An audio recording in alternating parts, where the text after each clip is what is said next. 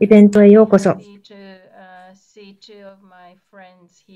私の友人お二方をお迎えできて大変嬉しく思います。日本時間は午後8時です。今はヨーロッパ、えー、中央時間は1時でしょうか？暖かい日のようですね。最近、スウェーデンとフィンランドが NATO 加盟の申請を行い、そのことを本日は取り上げます。では、まず、トーマス・ヨンテル教授をご紹介します。ストックホルム大学国際関係学科教授でいらっしゃいます。核不拡散、エネルギー安全保障を専門とされています。また、The Key to Nuclear Restraint、という著書を最近、えー、刊行されています。冷戦時代の、スウェーデンのあり方について、取り上げた著書です。それからまた、グループディスカッションペーパー、ヨンテル先生の、短い、ペーパーは日本語に翻訳をされています。スウェーデンの、えー、核、えー、開発、えーについての短いペーパーです。それからタピオ・ユントゥネン先生、フィンランドタンペレ大学安全保障学の講師でいらっしゃいます。フィンランドの冷戦時代の核兵器の影響、およびフィンランドの外交安全保障政策の歴史を専門とされています。そしてコメンテーターとして、多くの方ご存知だと思いますが、パスカル・ロッター博士をお招きしています。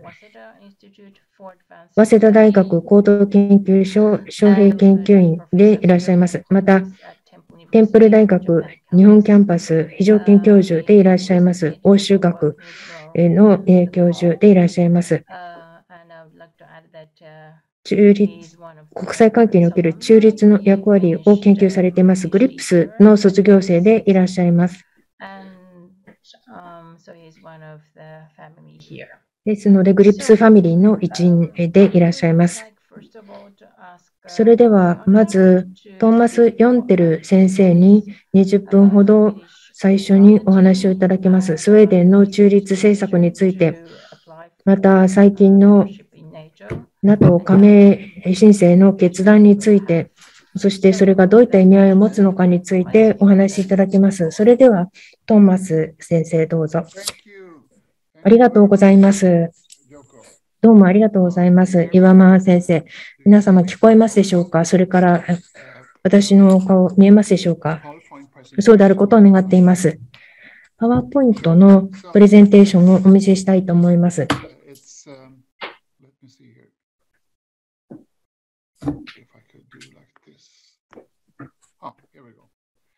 い、こちらですね。おっしゃる通り、えー、1時、1時5分です。午後1時5分です。スウェーデン時間。あんまり暖かくありませんね。16度、17度ぐらいで雨が降っていますので、あまりあの夏らしい暖かい日というわけではありません。えー、このようにお話をする機会を大変嬉しく思います。短いプレゼンテーションをさせていただきます。皆様ご存知の通り、スウェーデンとフィンランドは NATO 加盟の申請を1ヶ月ほど前に行いました。そして、これは非常に新しいことです。また大きな変化でもあります。スウェーデン人すべてにとってそうです。というのは、非同盟政策、まあ、中立政策と呼んでもいいのですけれども、中立という言葉はトリッキーです。というのは、スウェーデンではノンアライメント、あるいは非同盟、アライアンスフリーという言葉を使っています。このことはまた後でお話ししたいと思います。というのは、スウェーデンの中立政策というのは、他の国々、例えばオーストリア、スイスの中立政策とはちょっと違っているからです。これは非常に大きな変化です。というのは、誰も少なくとも1年前、あるいは半年前、スウェーデンスウェーデンが NATO 加盟申請をするとは誰も思っていなかったでしょう。というのも、この非同盟政策を200年以上実質取ってきたからです。もう DNA の一部、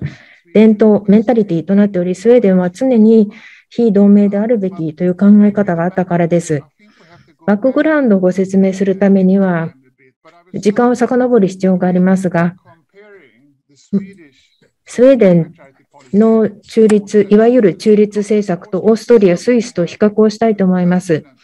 オーストリアとスイスというのは永久中立、永世中立国ですけれども、スウェーデンは永世中立ではありません。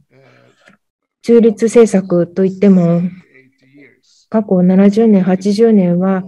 その永世中立というわけではありませんでした。それより遡ってもそうなんですが、えー、ただ、えー、本日は皆様によりご理解いただけるように、第二次大戦後に絞ってお話ししたいと思います。スウェーデンの中立政策というのは、決して衛生的なものではなかった。最初から衛生的なものではありませんでした。これは政府が宣言をしたことに基づいてです。スウェーデンの外交政策がどうあるべきかという政府の宣言に基づいて形作られたものです。この立場が他の国家によって認識される限りは、非同盟政策を取った国であるとみなされてきました。そして、紛争の際、軍事紛争の際、戦争の際にも中立を保つ国であるとみなされてきました。スウェーデンの非同盟政策はより柔軟性があるものです。オーストリア、スイスと比較をするとより柔軟性があると言えます。例えば、オーストリアは憲法の中に、衛生中立を謳っていますが、スウェーデンではそうではありません。ということで、実務的に見てみますと、それほど難しくはないわけです。現実的に考えると、NATO の加盟申請をするということは、スウェーデンにとってはそれほど困難なことではありませんでした。冷戦時代に立ち返りたいと思いますが、スウェーデンの非同盟政策、というのは冷戦時代に変わってきたからです。そして現代の中立政策となったからです。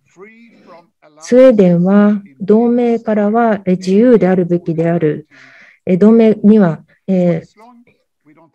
戦争時代に備えた平時の同盟には加わることはないフリーであるというのが非同盟政策です。近隣諸国が戦争になった場合には、中立だと宣言をするというものです。冷戦時代の非同盟政策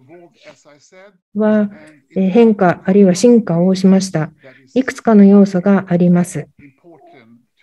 そのいくつかよいくつかの要素は重要だと思いますので、えー、そして現在を理解をする上でも理解をしていただく上で重要だと思います。冷戦時代、スウェーデンの非同盟政策というのは、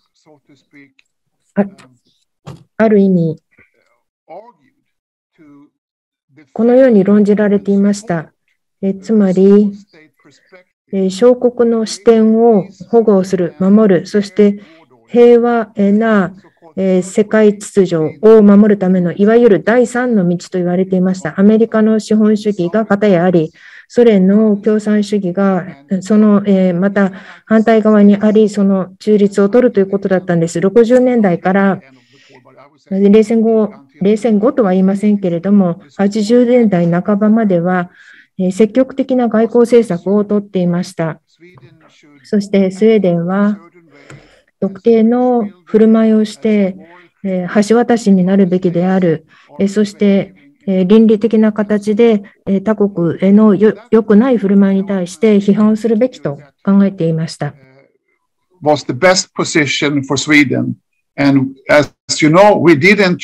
したがってそれがスウェーデンにとって最良の、立場であると考えたわけです。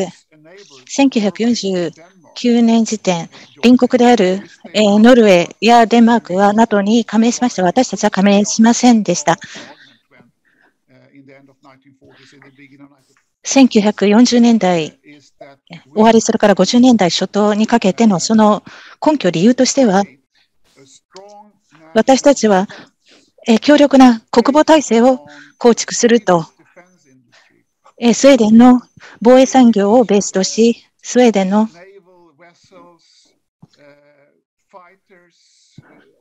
海軍、陸軍、空軍の能力を構築をすると、そして1950年代後半、それから1960年代にかけて、スウェーデンの防衛システムでは、GNP の3から4%の支出が行われたのです。したがって強力な国防、防衛が基盤となっていました。戦争が、えー、勃発をしたら、70万から80万人の兵員を投入することができる体制でした。したがって、これが非常な重要な背景となっていると思います。と言いますのは、冷戦の後に、スウェーデン、それから多くの欧州諸国が恒久的な平和が到来したと信じたのです。ロシアとの紛争はもはや発生しない。それから東欧諸国ともそのようなものは起きない。冷戦後、新たな、えー、安保体制を構築するということでした。スウェーデンの視点からすると、冷戦中の、えー、中立とされたものはもはや存在しない。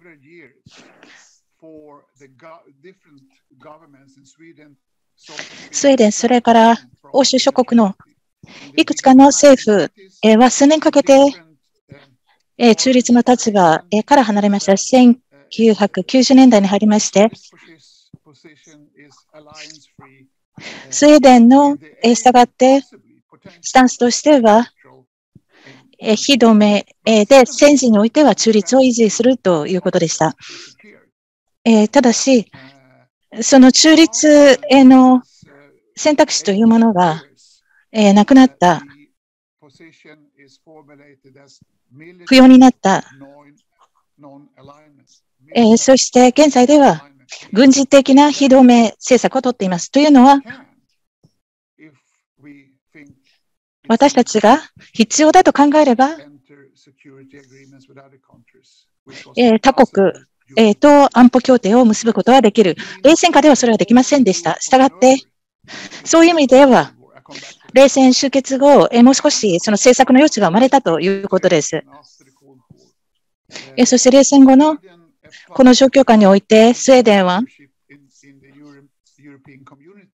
欧州共同体への加盟申請をいたしました。そして95年に加盟を果たし、加盟国となったわけです。したがって段階的に NATO との緊密な協力を築いてまいりました。いろんなプロジェクトに参加をし、NATO との協力を進めてきたわけです。したがって改めて、え、中立、え、ということが段階的に、えーえー、強調されなくなったわけではありますが、2008年です。ロシアがグルジア、当時のグルジア、今のジョージアを攻撃いたしました。これによって政治家がスウェーデンの防衛能力を問い直すこととなり、やはり見直すべきではないか。防に関して見直す時期ではないかとなったわけです。クリミアのクリミアの2014年のロシアによる併合が衝撃波となって、スウェーデンにおける政策立案者の体制側に大きな衝撃を与えました。スウェーデンの国国防能力を底上げしなければいけないと感じるに至ったわけです。もちろん、EU の加盟国としては、一定の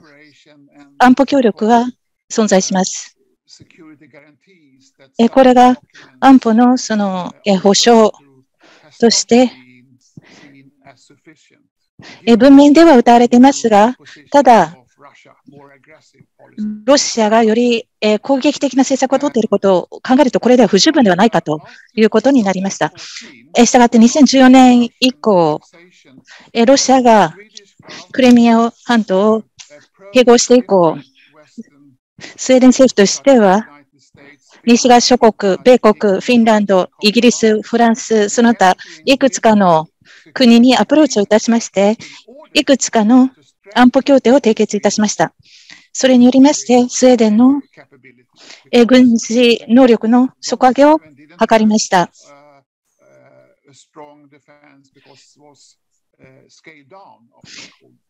冷戦後におきまして、防衛体制を段階的に引き下げてきたからです。したがって、安保協定が必要である何らかの安全保障による米国からの保障が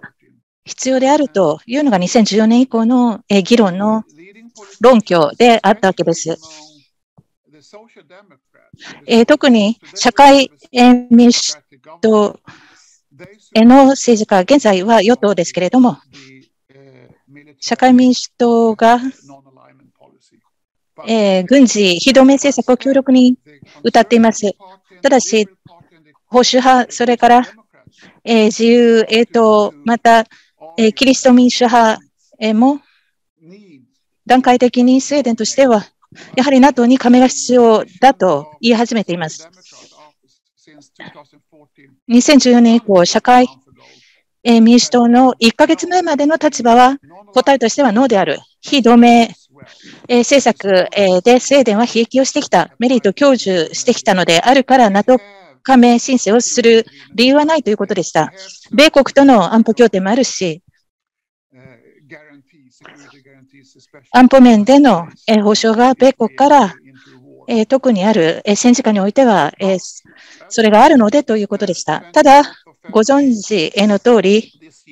今年の2月24日、ロシアが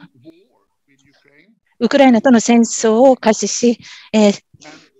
侵略行為に出まして、これで全てが変わりました。特にスウェーデンにとっては、フ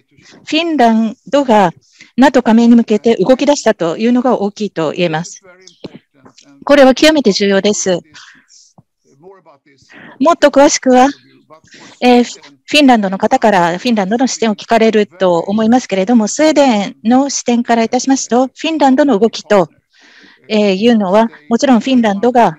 協力パートナーとしては極めて重要ですから、大きく、え聞いています。運用面で、え特にフィンランドの、え防衛側とは協力をしている。したがって、えフィンランドが動きを見せたということによって、えスウェーデンが非常に、え難しい立場に置かれた。えスウェーデンからいますと、フィンランドが加盟をしてしまいますと、スウェーデンのみが唯一、私たちのこの地域におけるバルト海の西側、西側のヨーロッパのバルト海地域における唯一の非加盟国がスウェーデンになってしまう。それだけ脆弱性が高まると考えたのです。したがって、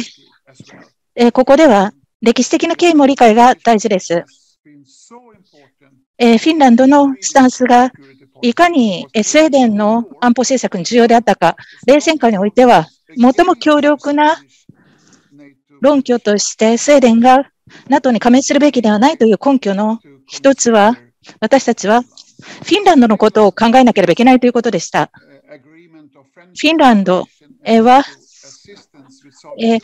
ソ連と友好、相互扶助協定を1948年から締結をしています。したがって、スウェーデンが冷戦下において NATO に加盟をすると、フィンランドを非常に脆弱な立場に追いやってしまうということでした。したがって、一つの NATO 加盟に対する反対理由としては、そしてごく最近までそうだったんですが、フィンランドに何が起きるかということに対して、非常にセンシティブであったと、えロシアが、え攻撃に出るかもしれないと、フィンランドのことを考えたわけです。したがって、ロシアの攻撃が今年の2月開始されまして、大きなスウェーデンの政界における大きな論議が巻き起こりました。社会民主党の政権は見解を変更したわけです。内部で、いろんな調査、それから議論を行いまして、5月半ば、今年の5月半ばですけれども、スウェーデンにとって最良の選択肢は NATO に加盟することであると結論付けました。そして5月18日ですけれども、フィンランドとスウェーデンが加盟申請をいたしました。たくさんご質問があることと思いますけれども、ここでは主な論点、なぜ NATO に加盟をするべきではないと考えられていたのかという論点にフォーカスをしたいと思います。まず、加盟すべきということについての一番強い主張は、フルのメンバーとして NATO に加盟をすると5条の下でのフルな保障がもたらされるというものです。また、バルト海地域を安定化をするというものです。フィンランドも一緒に加盟をすることによってスウェーデンが NATO に加盟をすればバルト海地域は安定化するであろうというのが加盟するべきという主張です。えー、ただ、えー、ロシ、ロシアは以前のその非中立政策ということ、非同盟政策、中立政策ということは理解していましたが、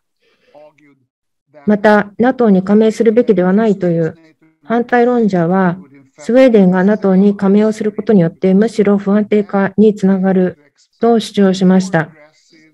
よりロシアが攻撃的になる、また、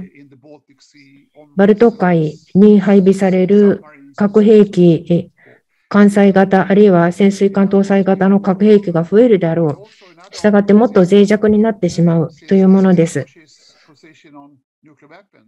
また、スウェーデンは1968年以降、核兵器計画を放棄しており、スウェーデンにとっては、ある意味タブーとなっています。NATO に加盟をするということになると、核兵器に頼るということになるからというものです。そういった議論がありました。平時ではなく戦時であった場合には、核兵器がスウェーデンの国土に配備をされることになるといった理由によるもので反対の主張がされていました。しかし、加盟申請に至った一番強い理由は、現在は防衛力が強くない、以前ほど強くないということです。冷戦時代ほどの兵力がないということです。1950年代、60年代には70万人から80万人の兵士を動員する能力がありましたが、現在はスウェーデンは動員できる兵力としては約4万人から5万人の兵士となっており、非常に大きな違いがあります。また、フィンランド、もしフィンランドが加盟をするのであれば、スウェーデンも加盟しなければいけない、追随しなければいけないという議論があります。共に加盟をする、フィンランドが申請をするのであれば、スウェーデンもそれに、え、追随する必要があるという論調がありました。また、アメリカ、そしてそれ以外のいくつかの国との安全保障協定を結んでいますが、しかし、それは安全保障の協定、条約ということではなく、一定程度の保障は約束をされている。一定程度、アメリカからの支援、その他の国からの支援に頼ることはできるけれども、全面的な安全保障を確約するものではない。NATO の加盟国に対して保障されているような安全保障は保障されていない内容だったからというのが理由です。では、私はここで一旦締めくくります。ありがとうございました、トーマスさん。トーマス・ヨンテル先生、たくさんご質問があることと思いますけれども、後でご質問を取り上げていきたいと思います。視聴者の皆様へのメッセージですが、ご質問が終わりの場合にはチャットでご質問をお送りいただくことも可能です。あらかじめ私の方で目を通して、時間を配分することが可能となりますので、ご質問をチャットでお寄せいただくことは可能です。日本語あるいは英語で受け付けております。えー、残念ながらフィンランド語、スウェーデン語は、えー、受け付けることができませんが、ディスカッションの時間で取り上げていきたいと思います。では次はタピオ・ユンテネン先生、どうぞ。ありがとうございます。私も本日このように参加をして、こういった非常に歴史的なタイミングでこのトピックを議論することができることを大変嬉しく思います。画面ご覧になりますか？私も画面共有をしたいと思います。共有できているようですね。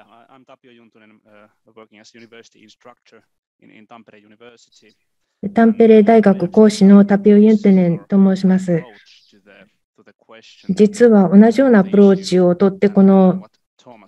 論点を考えています。トーマス・ヨンテル先生と同じようなアプローチで、まず歴史を振り返ってみたいと思います。というのも、ある特定の歴史の経路依存性、あるいはこれまでの歴史の軌道というものを振り返ることによって、なぜこのような歴史的な、そしてまた予期されなかったシフトがフィンランドの外交政策で見られたのか、この春見られることになったのか、より理解していただけると思うからです。で、また、えー、トーマス・ヨンテル先生がおっしゃったようになぜそうなったのかという直近の理由について、主な理由についても、フィンランドの視点から、あるいは私の解釈する理由をお話ししたいと思います。私は決して、えー政府の政策などにかかっているものではありませんので、歴史を振り返る意味でも、現在の政策を論じる上でも、あくまでの学者としての個人の解釈でお話をしています。私も第二次大戦直後の時代から始めたいと思います。トーマス・ヨンテル先生から、えー、お話があったように、1948年、フィン総友好条約を結んでいます。またその前には、えー、1947年パリ講和条約があり、フィンランドの外交政策の自由度がそれによって制限がかかることになりましたし、防衛能力についても大きな制約がかかることになりました。第二次大戦でソ連に対してフィンランドが敗れたからです。そういった構造的な条件があったということを理解していただきたいと思います。でだからこそフィンランドは中立政策、あるいは中立という言葉を使うべきではないとすら思っていますけれども、中立を目指す政策をフィンランドが取ってきた。それは厳しい制約のもとに置かれていたからです。ヨンテル先生の話にもあったようにです。えー、そして、フィンランドはパーシキビ大統領の下で、この外交政策について1956年までジュネーブ精神に基づいた外交政策を取ってきました。冷戦時代の超大国が対話をしようとしていた。そして当時は国連に加盟し、またボルプリの軍事基地をフィンランドにソ連が当時返還をしました。1956年以降、真の意味でのチャンス、中立政策のチャンスがあるかどうかという議論が始まった、その前の10年間というのは非常に制約されていた、国際的なフィンランドの立場は制約されていました。1956年以降、何が起こったのかと言いますと、限定的な平時の中立政策と言えます。ヨンテル先生がおっしゃったように、フィンランドの安全保障上の立場というのは、ソ連の正当な安全保障に拘束をされている状態で、それが当時のレトリックでした。FCMA 条約、フィン総友好条約によりまして、ソ連と共に防衛に当たらなければならない外的攻撃に対してその義務付けがあったのです。また同時にフィンランドは民主主義制度でありました。パスカルさん何かありますかあ、全画面にしていただけますかまだ全画面じゃなかったんですかなぜでしょうえっ、と、まだ1枚目のスライドしか見えていません。では、戻らないといけないということですね。ちょっと一旦共有をやめます。こちらの方の問題だと思います。失礼しました。もう一回共有をしてみます。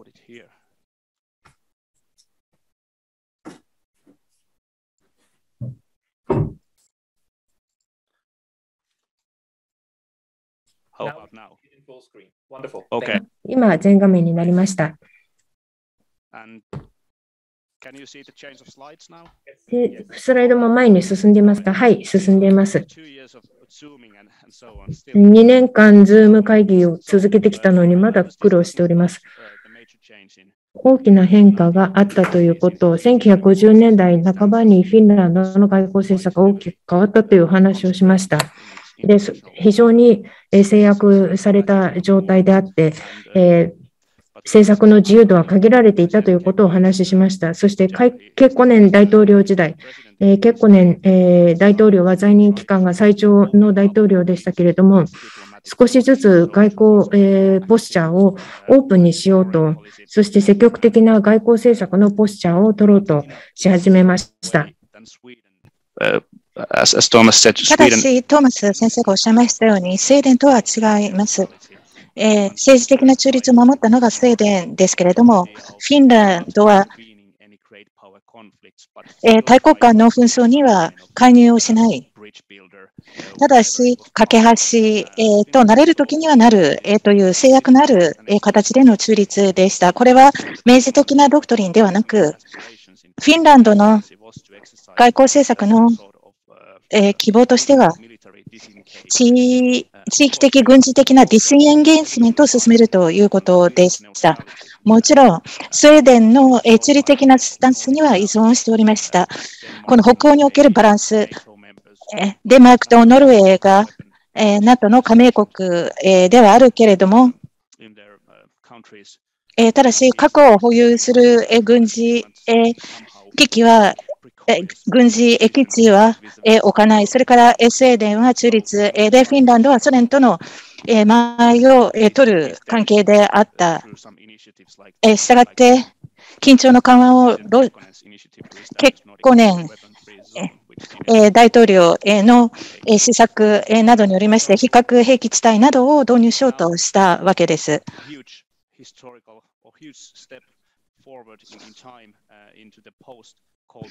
そして、冷戦後の時代に飛びますと、大きなメッセージとしては、フィンランドには制約が大きくかかっていたソ連の崩壊が、フィンランドにおける西側への統合へのチャンスを開いたということです。90年、91年は、91年は、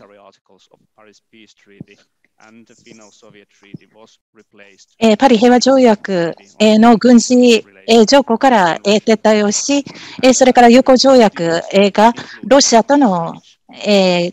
本関係にかかる協定に取って代わられたわけです。これはロシアとフィンランドにおける国家同士の基本的な関係を規定した条約です。フィンランドはえー、厳密に言うと、本当の意味で中立であったことでは、ないと。スイス、オーストリアとは違うということです。フィンランドが EU に加盟をする1995年当時、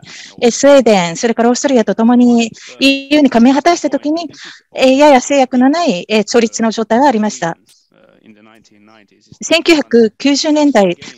スウェーデンと違ったところは、えー、フィンランドへの方が軍備増強が、えー、できたということです。えー、パリ、えー、平和条約の、えー、条項が関係なくなったからです。したがって、冷戦後におきましては、徴兵制を敷いていたわけです。欧州諸国では少なかったと思います。ギリシャもおそらく徴兵ベースでの軍隊は要していたかと思いますけれども、心理的な、えー、防衛、えー、それから包括的な視点というのが90年代、それから2000年代にかけて主流だったということです。えー、地域的に高い脅威がロシア側から、えー、及んでいたわけではないのですが、えー、外交政策、えー、全体、グローバルガバナンスと、それから人権ということもあったわけですけれども、全体的なドクトリンを大きく変えたわけではない。リスリスボン条約では、ハードな安保が保障されているわけではありません。ソフトな安保のアシュアランスのみです。フィンランドでもスイーデン同様に、これでは不十分であると、域内における大国の支援と言っても、域内に紛争があると、これでは不十分である。ただし、リスボン条約、えー、というのは、えー、中立、えー、と同義、えー、にするわけには従っていけないということです。えー、そして次のその大統領の政権下で、地域のバランスの変化をバルト海地域において、えー、見ることになりました。北極海、えー、でも違いました。えー、積極的な安定化、え政策を取りました。え国の安保、それから、え国防体制、えが冷戦下でも続いていたわけではありますけれども、西側との、え統合、それから協力体制、えを、え防衛政策、えにおいて取ろうとしたロシアとやはり不和ではない関係を構築することが大事で、国際的なシステム、ルールベースへの秩序、それからより広範な安保の問題に引き続き関心を寄せました。軍事的なディスエンゲージメントからはかなり変わりまして、えそれがその当時の文章えに現れています。フィンランドの外交安保政策の政府の報告書にも現れています。米国のバルト海における、え軍事的なプレゼンスが安定化要因になっていた。これは2014年以降、えロシアが、えクリミアを併合し、えそしてウクライナ東部におきまして代理戦争を行って以降、特にそうです。えしたがって NATO のプレゼンスというのは安定化要因であるということです。軍事的なディスエンゲージメントと冷戦下言っていたのは全く逆です。したがって、このような、えー、思考の大きなシフトがあったということです。したがって、フィンランドの外交政策では実務的な変化があった。クレミアの併合後、えー、フィンランドでは NATO の選択肢のディスクールが起きたということです。これは政府の報告書の中で明示的に宣言されたわけではありません。外交政策のエリート、それから研究者がよく議論していた暗示的なドクトリンで3つありまして、歴史的な経験上、冷戦下で制約があったので、フィンランドとしては、自由度を極大化し、自らの防衛、それから安保政策を決めた、OSC、それから国連の検証に基づいてです。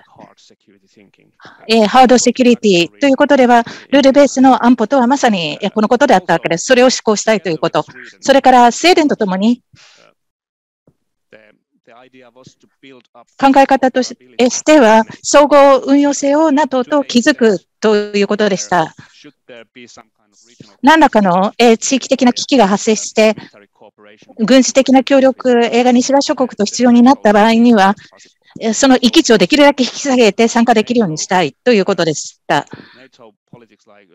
NATO の政治、プラス防衛協力、NATO 諸国と軍事演習をする NATO の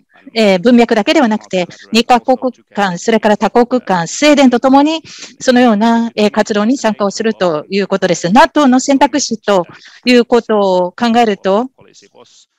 その政治的なメッセージとしては、これはあくまで私の解釈ですけれども、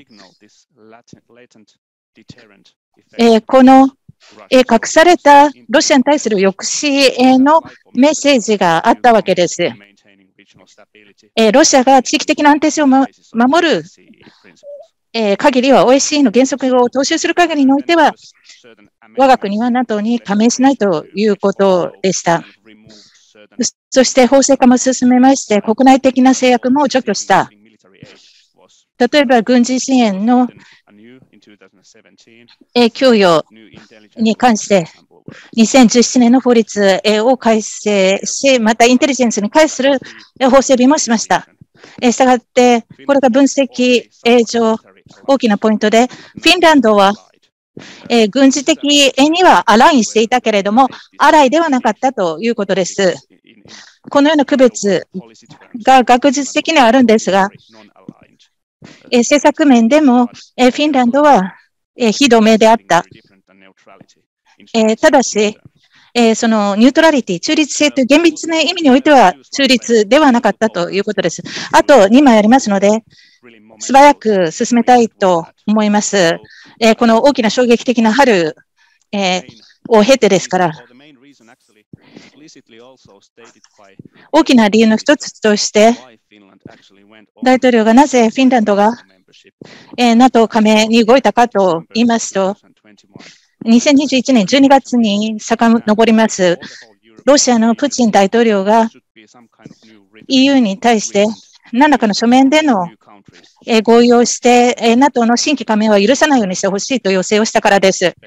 フィンランドの視点からすると、それからフィンランドの外交政策のエリートからすると、積極的な安定化という政策を損なう。また、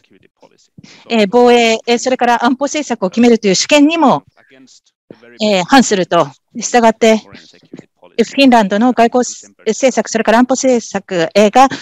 え原則から揺るがせにされる結果になりかねないということでした。したがってニースト大統領がワシントンを訪れまして、スウェーデンの首相とも興味深い電話会談をいたしまして、スウェーデンとフィンランド映画は緊密な協力をいたしまして、政府、大統領側としても、スウェーデンなしではフィンランドは NATO に加盟しないと言ったわけです。したがって、そのレガシーを認識し、フィンランドの国防というのがスウェーデンに依存していた冷戦下、そうであった。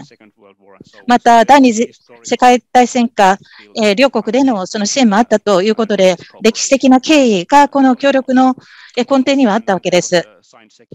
そして、イギリス、とも、安保協約を締結いたしました。国内の政治ということでは、これは少なくとも部分的にはボトムアップのプロセスであった。まず国民の世論が変わったということです。えー、NATO 加盟に対するえ見方が好意的になったということです。ウクライナのロシアの侵害を、侵入を受けてです。これは揺るいでいません。この2ヶ月、議会での論議が、えあって、民主的な国ではそれが想定されるわけではあります。フィンランドでは、社会民主党の政権がスウェーデン同様にありまして、民主党もそうです。したがって、え防衛に関するその党内の議論も必要でした。したがって5月の初頭に、え結論が出まして、公式にサナマリン、え大臣が、え来日をした直後に、サナマリン総理が、え来日をした直後に発表をしたわけです。フィンランドというのは、もちろん、えコンセンサス、え醸成をする文化があるわけですけれども、そのような形で決定されました。えそれから、え大統領が、えプーチンに、え電話をかけまして、NATO 加盟を伝えました。え申請自体は問題がないと、どのような、え NATO の政策をスウェーデンが要することになるのか、ロシアの政権としても、もはや意味のある介入を、え政策プロセスに、え持つことはできないと思ったのか。ただし、フィンランドと、それからフィンランド、映画などにおいてどのようなポスチャー、体制を維持するのかということには言及がありました。もちろん一律ではないわけですから、交渉その他もある。で、議会での議決がありました。もう記録的な速さ、えー、です。199名中188名が賛成票を投じたということで、非常に大きなコンセンサスであったということです。結論ですが、重要な論点としては、フィンランドが NATO 加盟申請に舵を切ったということは予期されなかったかもしれませんが、歴史を振り返ってみると極めて論理的であったということです。中立政策というのは政治的なアイデンティティとして根付いたものではなかったからです。トーマス先生が賛成なさるか分かりませんが、スウェーデンの方が中性政策、中立政策というのは、よりアイデンティティになっていた、国のアイデンティティになっていたフィンランドよりはアイデンティティであったと思います。そのためにもしかするとフィンランドの方が先に動く形になったのかもしれません。また戦略的な文化としては、西側との統合とそれから信用力のある国家防衛構造を保とうとする両方が興味深い形で混合していまして、社会民主主義的な政治のあり方を反映しているのかもしれません。また、冷戦時代の経験が重要です。外交政策の自由度を維持するということがフィンランドの戦略文化において重視されていました。重要な転換点は先ほど申し上げたように、プーチンのえ何らかの衛星中立の構造を要求をするということがあった。それが転換点となりました。えヨーロッパの事実上の勢力図を変えることになり、フィンランドとしては決して受け入れることができなかった要求です。もう一つは、これは議論の余地があるかもしれませんが、プーチンが間接的に核の使用を示唆をする言動がウクライナ侵攻の初めにあったということです。核兵器の政策によって安定性、不安定性、パラドックスにつながりました。核兵器の時代になってから核、えー、保有国同士の紛争はなかったのですけれども、統計を見ますと、核保有国はより多くの紛争を非核保有国に対して行っている。したがって、抑止力が働くのは、核兵器に依存する同盟国においてしか働かないのかもしれませんが、これは暗示的なもとで、明示的にフィンランドの指導部がそのように言っているわけではありませんけれども、そのようなインプリケーションがあるかもしれません。何らかの抑止効果がある核の力を使って脅迫をしようとすることに対して、抑止力としての効果がある意味あったのかもしれません。以上です。ありがとうございました。いくつかご質問をチャットボックスの方にお送りいただいています。後から参加なさった方々は、ご質問をチャットボックスにお送りいただけると、私の方でも質疑の方での時間の配分がよりやりやすくなります。それでは、パスカル・ロッタス先生にコメントいただきます。もともとスイス出身でいらっしゃいまして、えー、両者のプレゼンテーションでもスイスは衛星中立国ということで言及がありました。パスカル先生は中立政策について、えーグリップスの PhD コースに、えー、入って以降、研究を続け、論文も書いていらっしゃいますが、これまでの進展をどう受け止めて、どのように分析をしていますか？ご質問ありがとうございます。私はもう少しバイアスがあるかもしれません。お二方の、スピーカーに比べると。というのは、ヨーロッパの中立性の概念は、大きな役割を果たしてきたと思うからです。私が行ってきた研究、これは共同研究です。4人で共同研究、ここにいる4人で本、を書いてきました。冷戦時代にどういったプロセスで不拡散条約が作られてきたのか、また中立国、スウェーデン、フィンランド、スイス、アイルランド、オーストリアがどのような形でグローバル、え社会、国際社会と、え関わってきたのか、えということを取り上げる本で、M、NPT というのは冷戦後大きな成功と言えます。コントロールのメカニズムをもたらす。えそして今でもそれが機能しているからです。私たちが集めた情報からも、またそれから今、ヨンテル先生、ユントネン先生からおっしゃったように、中立国も交渉に関わったということは重要だった。特に北欧のフィンランド、スウェーデンはとても重要な役割を果たしていました。国連での交渉レベルで重要な役割を果たしていました。ただ興味深いことに、これはまた別の機会に議論ができると思いますけれども、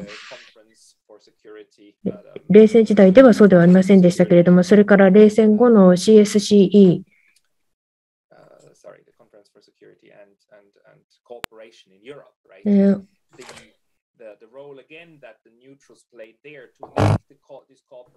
保守安全保障協力会議でも、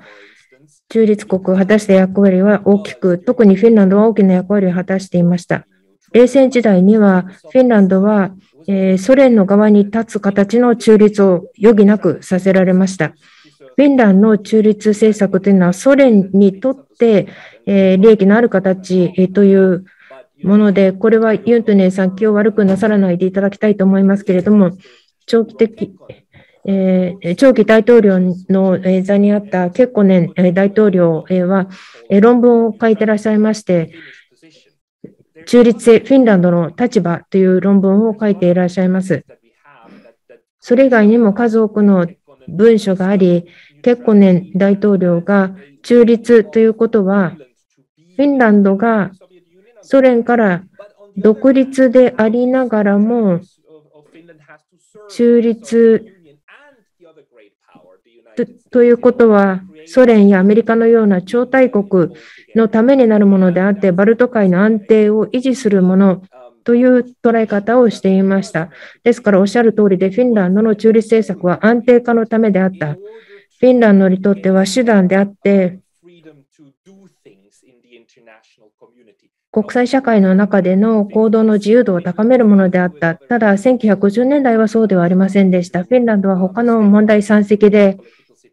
政治状況を安定化させなければいけなかったからです。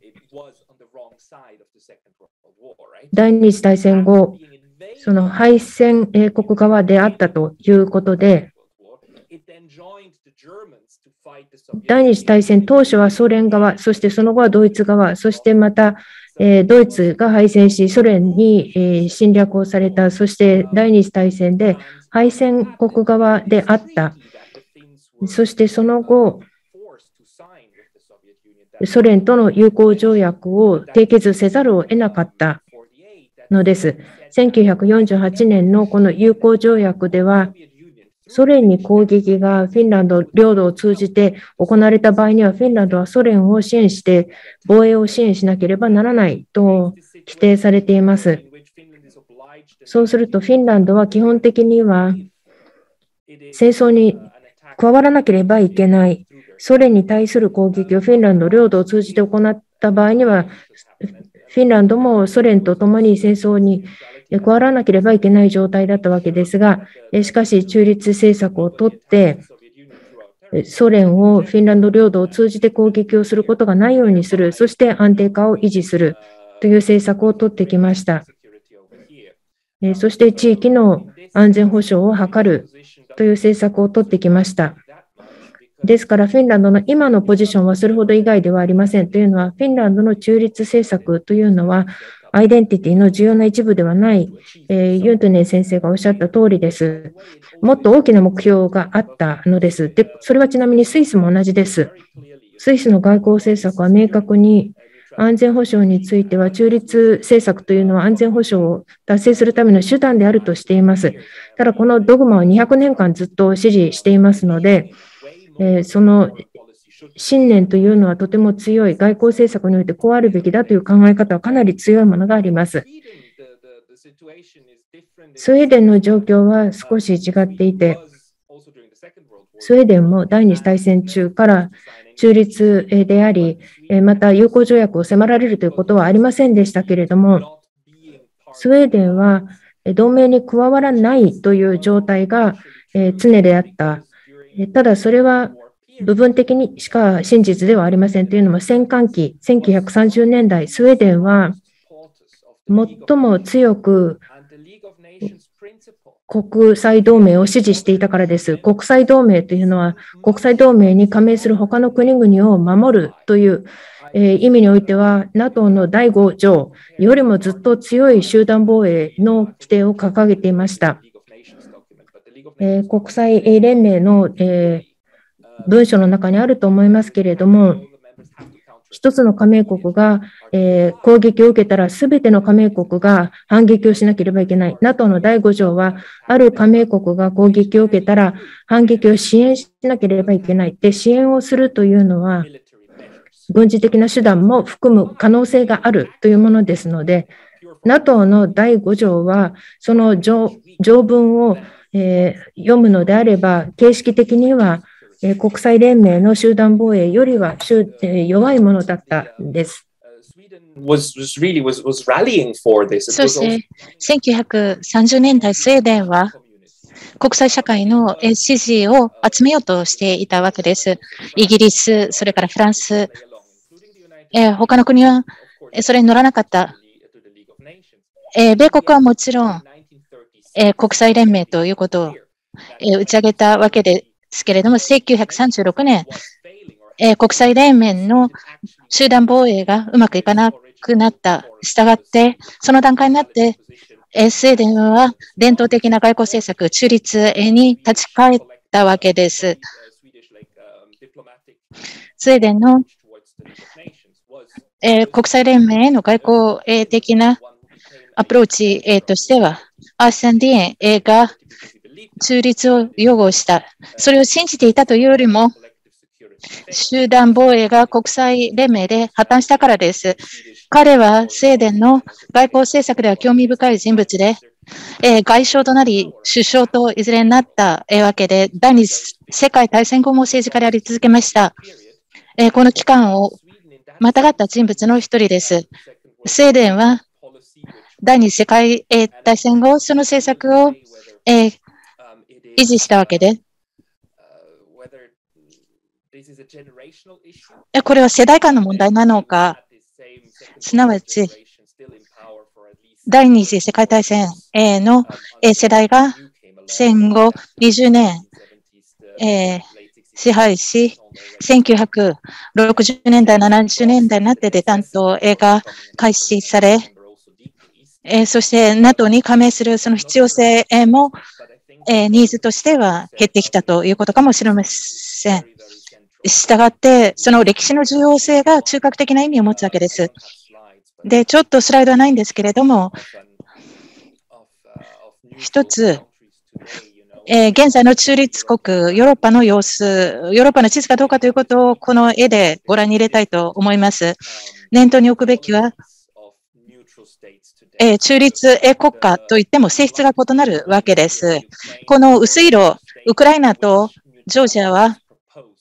え、中立が提案されていて、え、現在のその紛争管理のあり方として中立が提案されている。もちろんそれはロシアからも言われているし、ヘンリー・キッシンジャーのような、え、リアリスト、あるいはマイケル・ウォルシュ、米国人が言っています。このようなその中立地帯を作ることによって、ディエスカレーションをすると。えー、ただこの2つは今のところ横に置いておきましょう。現在、まあ、ひどい戦争、紛争、続行中であるからです。濃い青はスイス、オーストリア、モルドバ、それからマルタです。え憲法に中立を謳っている諸国です。これらが唯一の国々として、憲法上の要求事項として、中立であることが義務付けられている。えしたがって中立を変えるということであれば、え憲法の改正が必要である。もちろん不可能ではありません。ウクライナも、え憲法上外交政策で、え中立としていたんですが、2014年それを改正したわけです。したがってもちろん憲法改正は可能ではある。えただしその違いがあるということです。それからこちらのセルビア、アイルランド、えー、スウェーデン、フィンランド、えー、の中間の色ですけれども、これは、えー、中立は外交文書にのみ規定していると。この4カ国の中で、スウェーデンとフィンランドの2カ国が2000年以降、段階的に外交政策文書から中立という言葉を文字通り段階的に削除し、他の公式、例えば非同盟であるとか、そういったものに置き換えている、え、トーマス先生がおっしゃいましたけれども、フィンランドの外交政策の概念として、え、平時におきましては、非同盟とし、え、そして戦時においては、それによって中立を可能ならしめるという対応です。四角いものを丸くする中立的な19世紀の古典的な定義というのは先人のみ適用されると、えー、戦争がなければ、えー、中立は関係ないと。ハーグ条約のもとで中立が言われていますが、それは先人のみ適用される法的な国際法として平時におきまして中立であるから何をしなければいけないという要求はないわけです。したがって、冷戦下におきまして、各欧州諸国がそれぞれ政策を決めなければいけなかった構造的なえー、紛争はあるけれども、熱い戦争がない場合にどうするのか、スウェーデンの解決策としては、スウェーデンとしては、えー、戦争が勃発したら、えー、中立とすると、スイスも同じです。ただし、スイスは、えー、憲法に書いている。で、スウェーデンは書いていないという違いはありますが、そういう意味では、90年代後半、それから2000年初頭におきまして、この戦時下における中立性というのが徐々に薄れてきて、非同盟えを中核とする、それから NATO との協力、えそれからまた平和えなパートナーシップということで、フィンランドとスウェーデンがそうしたその総合運用を NATO と進めることになったわけです。したがって、これがいかに早く進んだかということでは想定外ですけれども、中立からアライアンスに向けて移行するという意味では、フィンランドとそれからスウェーデンが想定通り、えー、最初の国々として移行しつつあるということです。NATO に至る道を進んでいるということです。ウクライナの紛争によりまして、このような政治的なシフトが加速をしたということです。えー、国民の支持もあって、スウェーデンとフィンランドは、えー、国民投票という政治手段は使いませんでした。国民の世論を問うということを国民投票を通じては両国はしなかった。これは議会の決定である。世論では、えー、大きな支持があるという裏付けがあるからです。スイス人として果たして本当にその住民投票した際に同じ結果になるのかという疑問は若干ありますが、それはちょっと違う話ですので置いておきます。したがって、この全体像を見ますと、2022年、この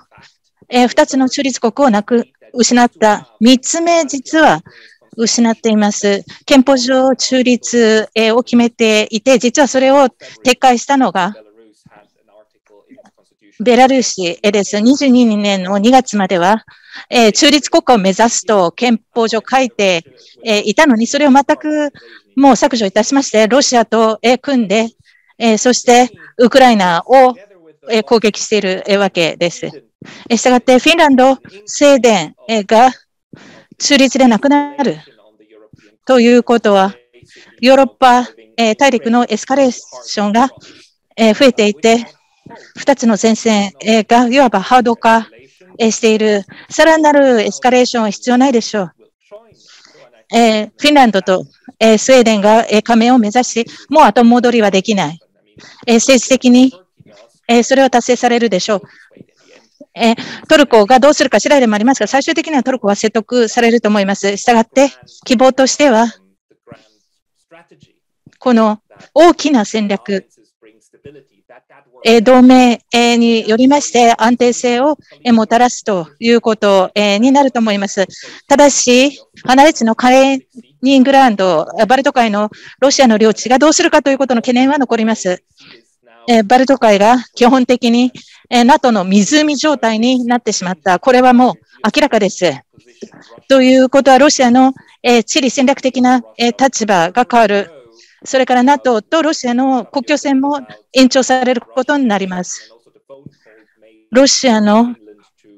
認識はどうなのか、フィンランドからロシアに電話会談をしたわけですけれども、フィンランドは自らのその外交政策をロシアに対して常にうまく伝えてきた。冷戦下におきましても、そうしたその交流はあったわけで、現在もロシアとのつながりはあるわけで、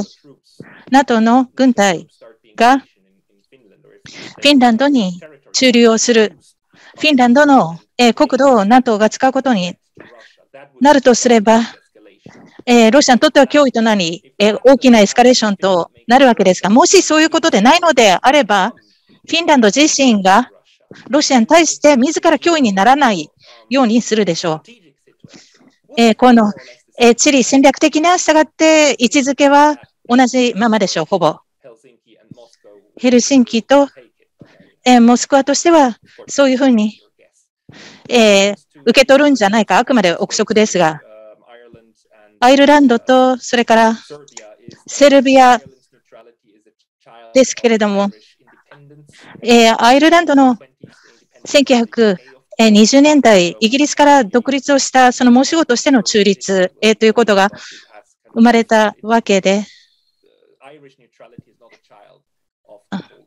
したがって冷戦の産物ではありません。えー、これはその独立運動の産物、えー、です。それからセルビアはえー、NATO の爆撃を受けたユーゴスラビア戦争の産物です。99年ですけれども、NATO 諸国によって爆撃をされたということを記憶しているわけで、EU には入っても、えー、NATO には加盟をしないということです。爆撃を受けた、えー、記憶が、えー、あるからです。国連のそのマンデートを受けずにしかも爆撃をされたと思っているからです。では、議論に入りたいと思います。ご清聴ありがとうございました。ありがとうございました。ご質問が、えー、チャットの方に、えー、届いています。残り50分ほどですので、聴衆の、皆様、もし可能でしたら、ご質問をチャットボックスにお送りください。残りの時間を効率よく組み立てていきたいと思います。4つの箱に分けてお話をすることができると思います。第1が冷戦時代どうであったのか、それから2つ目に移行期について、冷戦後から最近までの移行まあ、いつ移行期がスタートしたのか、えー、ロシアが、ね、脅威になるようになったのはいつかというのははっきりとさせるのは難しいのですけれども、えー、NATO が拡大したのがそもそも悪いのだという論調があります。非同盟、あるいは何らかの中立の状態を旧ワルシアワ条約諸国は維持するべきで、NATO をそもそも拡大したのが、間違いであったという議論もありますので、この移行期を2つ目に取り上げたいと思います。3つ目に、スウェーデンとフィンランドの NATO における将来、どのくらいの防衛支出を行っていくのか、また、外国、例えばアメリカの駐留軍に基地を提供するのか、核兵器を置くのか、また、NATO に加盟することによって地域はより立腹をしてより不安定化しないのか、それから最後がヨーロッパの安全保障構造の将来将来についてです。何らかのヨーロッパの安全保障上の構造というのが70年代にはありました。これは今本で取り上げようとしている主題ですけれども、もはやこれはなくなってしまったのか、それともまだ残っているのか、あるいはダメージを受けてしまっているのか、再構築できるのかということです。この4つを主に取り上げていきたいと思いますが、まず、冷戦時代の中立、あるいは非同盟政策について、フィンランド化という言葉も使われていたほどです。過去についてはどう捉えていらっしゃいますか？そして、また今の国内の心理状態はどうでしょうか？悲しいと感じているのか？パスカルさんは悲しく感じているようですね。私もやや悲しい気はしました。賢い外交政策の伝統が違う段階に入るというのを見て、やや悲しい気がしましたが、過去、それから将来どう捉えていらっしゃるのか、トーマス・ヨンテル先生からどうぞ。はい、ありがとうございます。岩間先生。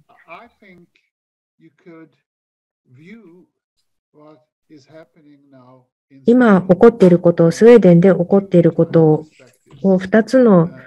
えー、時期から捉えることができると思います。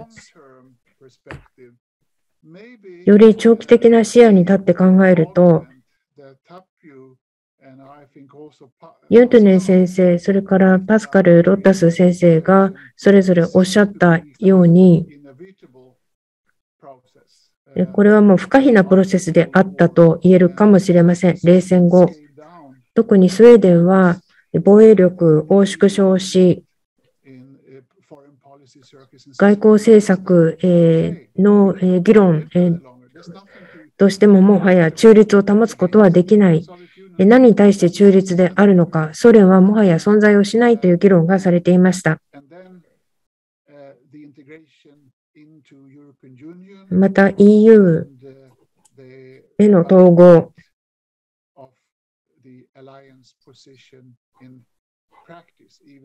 そして、えー、同盟関係については、理論上はスウェーデン政府は政策を維持すると言っていましたけれども、事実上は放棄をしていたということで、自然な経緯だったと言えるかもしれません。とは言っても、これは自動的なプロセスと捉えるべきではありません。というのは、いくつか異なる重要な決断をスウェーデン政府の各方面が行ってきたからです。個人的に私は、もしスウェーデンがフィンランドのようにより強い防衛力を維持していたのであれば、で、また、非同盟という立場を維持して、スウェーデンの安全保障、あるいは防衛政策の手段として、そして橋渡し役とするということをもっと追求していたのであれば、えそして、えどこにも、え所属をしない形で、え独立をした、え立場を保っていたのであれば、今の状況に至らない可能性もあったのではないかと思うのですけれども、そうはなりませんでした。そして、えロシアが、えウクライナを攻撃をしたときには、えそのことが明らかになった。えしかしながら、えもっと伝統的な非同盟政策で強い防衛力を維持していたのであれば、NATO に加盟をするに至らなかったのではないか、今の状態になるとは100%思えないのです。ただそれは私の個人的なポジションですし、えー、何がベストなオプションなのかということははっきりとは分かりません。えー、しかし、政治的なエリートによってそのような状況に追い込む、悪い意味で追い込んできたと思います。パニックにして、もうこれは数週間、あるいは数ヶ月内でえ加盟をしないと大変なことになると、もちろんもっと長い時間はかかるでしょうし、それほどパニックを煽り立てることがなければ、特に外相、外務大臣の議論がそうでしたけれども、え、早く動かなければいけないと、え、議論をしていましたけれども、もっと真剣に議論をする。それは、閉じられた空間だけの議論ではなく、オープンにディスカッションをしていたら、どうだったのかと私は思います。社会民主党ですら、この9月の来たる選挙を恐れている NATO 加盟が争点になると、社会民主党としては不利になると懸念をしているという、え政治的な理由もあって、早く決断をしたかった、選挙の前に決断をしたかったと考えていたと思います。また、ロシアも問題を抱えている。これを戦争と呼んでいいのであれば、この戦争はまだ終わっていないわけです。近い将来、これは、えー、近い将来においてはスウェーデンの安全保障の脅威ではないえので、この現状を十分に分析をする時間はあったと思います。えそして NATO に加盟をするのかしないのかという決定はえ、もっとえ一般世論においても正当性がある形で議論を深めることは可能であったはずだと思います。えタッピオ・ユントネ先生、どうですか？ありがとうございます。パスカル・ロッタス先生のポイントに立ち返りたいと思いますが、伝統的な意味での中立政策というのは、戦時に条約の下で中立ということがあり得るという話でしたけれども、フィンランド政府の安全保障政策、外交政策の報告書を見てみますと、もうこれは15年ほど前の報告書ですが、フィンランドは地域の紛争を逃れることはほぼできないであろう。フィンランド周辺で紛争が起こった場合には、関わらないということは可能性が低いであろうと。したがって、相互依存性が地理的にも地政学的にもバルト海地域にはあるということです。それを覚えておくことは重要なことだと思います。フィンランドはバルト海への依存性が高い安全保障においても、また供給においても、フィンランドはある意味島国といえるほどバルト海の海運に非常に依存しています。ラップランド、ノルウェー、スウェーデンなどからの北の方からの輸送路というのはほぼ、えー、頼ることはできない。したがってフィンランドは軍事同盟に加わらなければいけない現在の政策をロシアが受け入れることがないのであれば、つまり軍事非同盟という積極的な安定化策をロシアが受け入れないのであれば、NATO に加盟するしかないと言えます。もう一つの選択肢、えー、としては、スウェーデンと貿易協力を深くする、進化させるということでした。これは2カ国間の両国政府間の議論で進めることができた。でも、これも不十分であって、ですからこそ、え国家、え同士のその、え関係構築のための条約を結ぶかということになったわけですけれども、NATO におけるフィンランド、それからスウェーデンの将来ということで、え防衛支出、それから米国の基地の存在をどうするのか。えフィンランドに核兵器を置くかどうか、えということは決まった話ではありません。法制も、え変化、えすることがあり得るからです。ただし、それでは論外となります。NATO サミットが開催されますと、えー、東部におきまして、えー、従来のその、えー、軍を置くかどうかという話はあるかと思うんですけれども、非常に難しい。フィンランドはかなり信頼性の高い防衛隊、ヨーロッパではロシアに次ぐ下方隊としてフィンランドは大きな兵力を持っています。したがって、恒久的なその軍を改めて置く必要性はないわけです。ただし、これは政治の問題であって、次の政権が保守党、映画与党となりますと、これに関する考えが変わるかもしれません。ただし、私たち、えで決まるわけではない。戦略的な文化、歴史ということを考えますと、同じ例えばノルウェーと同じような体制を築く。ノルウェーは2カ国間の関係をロシアと成功裏に NATO の加盟国でありながら築くことができている。したがって、えフィンランドも、え私たちの側からそのようなその伝統をえ放棄する必要はないと思います。ポスチャーということでは、ノルウェーを見習えるところがあるかもしれません。ただし、NATO とトルコのその反対がありますので、このような議論はまだできていません。フィンランドは GDP の1.5%を国防に支出しています。2%を目指しますか？実際2%に引き上げていきます。F35 戦闘機を米国から購入することによりまして、これは大きな軍事支出ですから、64機購入しますので2%になると思います。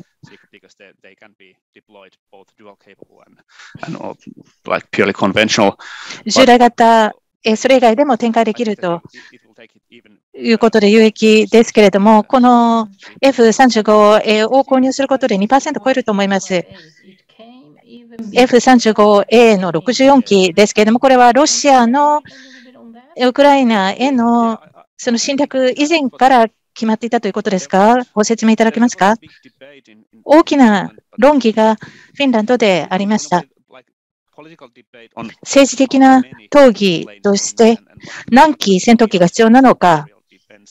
えそれから、えー、国防、それから空の防衛、え防衛協力、総合、え運用という意味合いでどういう意味を持ちるのか、え議論しました。えただ、国防大臣は非常にプラグマチックな合理的な決定をしまして、慎重に何年か検討しまして、5つの軍事装備の事業者を比較した結果です。F18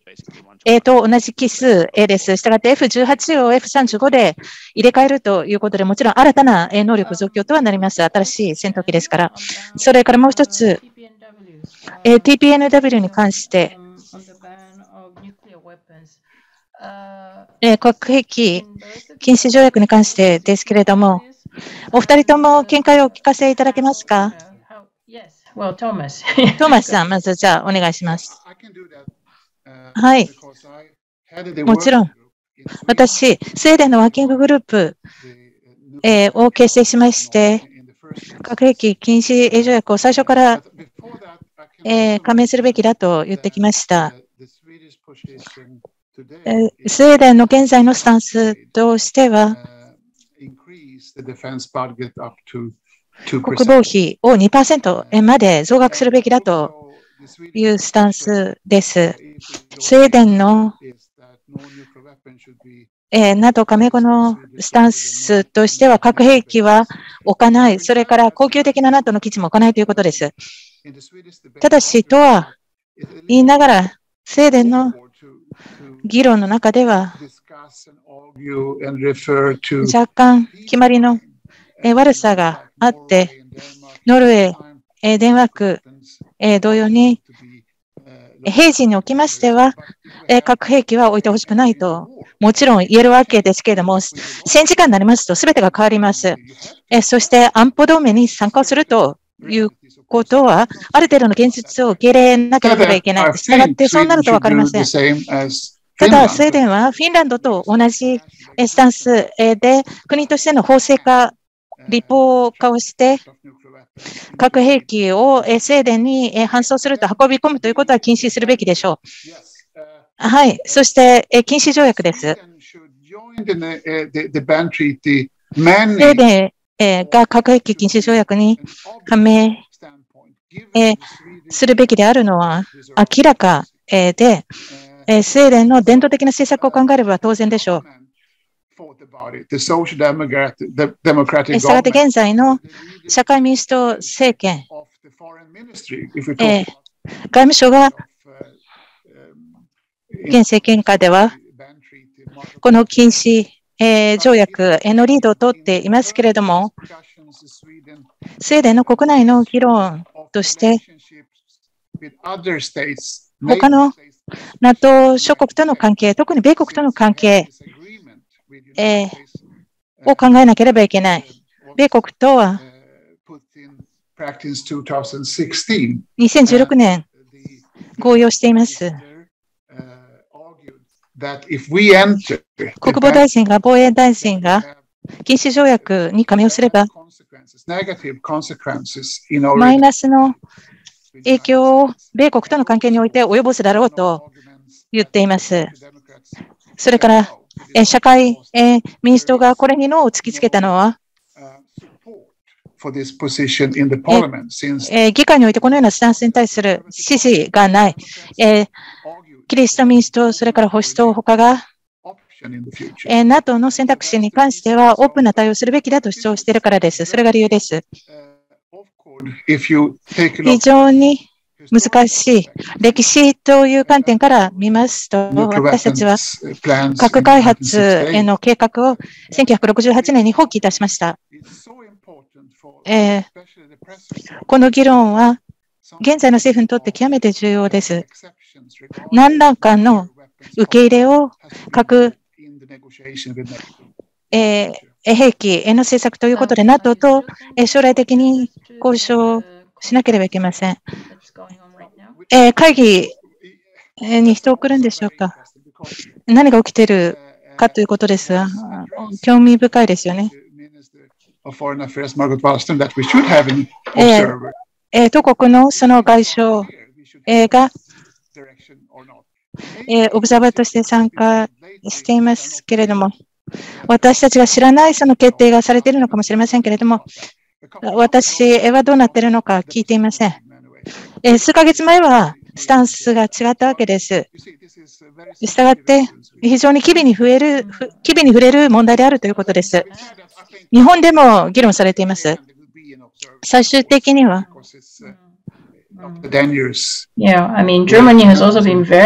もちろん議論しなければいけない。ドイツもそうでしたね。タピオさん、じゃあどうぞ。フィンランドは私の理解では、オブザーバーを送ることにしていると思います。ただ、2016年、17年、プロセスが開始されたときに、フィンランドは、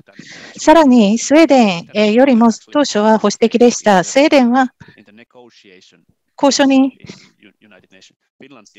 国連のその交渉段階に参加をしていたと思います。フィンランドはそれすら参加しなかった。もっとプラグマチックなスタンスであったと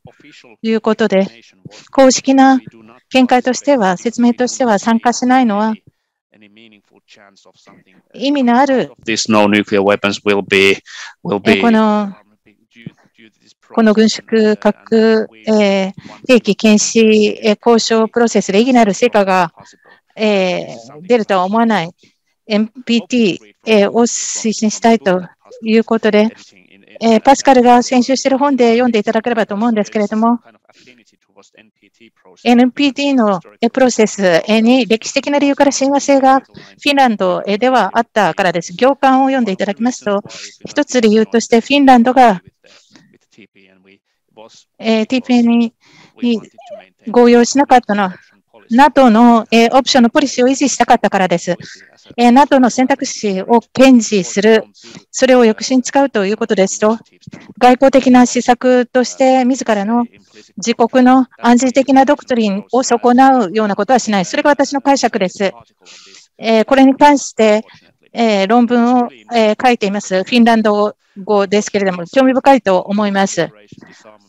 えーえー、深くさん、軍縮、えー、全体がいろいろと競合し合うセクターに分かれてしまっている、分断されてしまっています。望ましくない方向性です。えー、でも、えー、それを見守らなければいけないようです。少し議論を戻して、